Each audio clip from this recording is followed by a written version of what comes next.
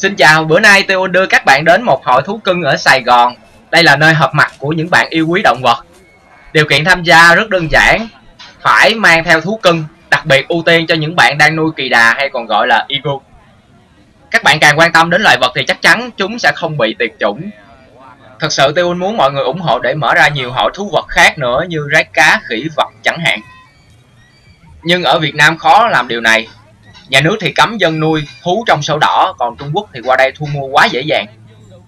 Cái hội thú cưng này mới đầu chỉ dành cho mấy con kỳ đà, mà mỗi lần tổ chức bạn bè đều mang đủ loài thú theo. Riết giống như đại hội thú cưng luôn vậy đó. Thấy vui quá đúng không?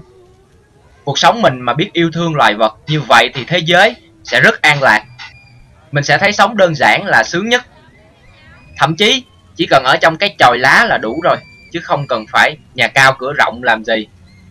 Nếu xung quanh ta thiên nhiên phong phú, môi trường trong lành, thì chả cần phải lo nghĩ tích lũy tài sản làm gì đúng không? Cố gắng kiếm tiền để sống trong những căn nhà to, bự. Nhưng nhìn kỹ đi, thật ra nó cũng là cái nấm mồ lớn để chôn thân mình khi còn sống mà thôi. Bạn có ở chỗ sung sướng, còn môi trường xung quanh bị hủy hoại thì cũng bị họa lây.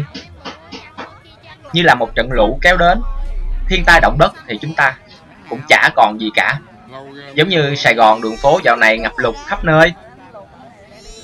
Các bạn có xe máy xịn có chạy được ngoài đường không? Thà sang sẻ buông xả giống Tiun Bạn sẽ thấy yêu đời hơn. Kiếm được 10 đồng cho hết 10 đồng luôn. Miễn động vật được yêu thương, bảo vệ. Được cứu là Tiun thấy đủ lắm rồi. Chúng ta là con người, động vật bậc cao nhất trên thế giới này chả cần phải ăn thịt kẻ khác để sống. Chỉ cần ăn lá cây như mấy con igu vẫn có thể khỏe mạnh mà. Tóm lại, Tiêu rất hy vọng các bạn sẽ nhìn nhận được cuộc sống tốt hơn qua việc Tiêu làm vì thiên nhiên và động vật Việt Nam. Càng ủng hộ việc Tiêu làm thì các bạn sẽ được thấy nhiều điều cần thiết hơn cho cuộc sống này. Chứ Tiêu thấy tội nghiệp các bạn trẻ bây giờ lắm. Trên mạng toàn những việc làm xấu ảnh hưởng đến mọi người Mấy người càng làm việc bậy bạ thì càng được yêu thích chia sẻ. Tại sao vậy? Điều đó làm cho xã hội này càng đồi trụy. Đi xuống mà thôi.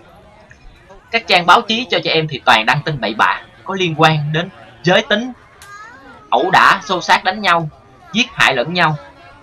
Toàn là những cái thông tin bậy bạ.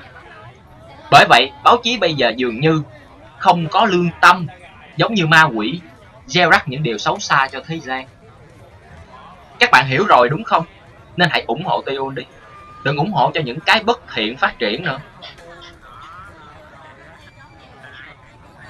Hãy yêu thương các loài vật như gia đình của mình. Hãy quan tâm đến môi trường. Hơn là tìm cách tích lũy tài sản cho bản thân.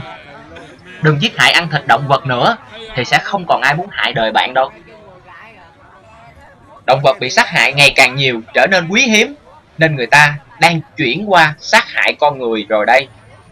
Tất cả đều do sự tham sân si, ích kỷ mù quáng của các bạn tạo ra đấy. Đó giờ, Tiêu thích cứu động vật, rồi thả vô rừng. Nhưng giờ càng thả người ta càng bắt, hại, rồi cũng bị bán cho Trung Quốc hết. Nên tôi muốn có nhiều hội động vật hơn nữa. Vì bảo vệ động vật là bảo vệ chúng ta. Những cái hội này tự chúng ta tự lập ra là nơi hợp mặt của những bạn trẻ, những người yêu thích động vật được rồi. Vì tình yêu thương dành cho tất cả muôn loài. Tiêu nói đúng không? Tiêu nói đúng không? Nên hãy cùng tôi tạo ra tình yêu thương cho tất cả muôn loài. Thì chúng ta sẽ có an lạc khắp thế gian. Càng ủng hộ việc giết chóc động vật là các bạn đang càng tạo ra mâu thuẫn tranh chấp trên thế giới. Tới khi động vật khan hiếm không còn đủ để ăn Người ta sẽ gây ra chiến tranh để giết hại lẫn nhau. Đừng để việc này xảy ra nên chúng ta phải càng yêu thương, quan tâm, bảo vệ động vật nhiều hơn nữa nhé. Hãy giúp Tiun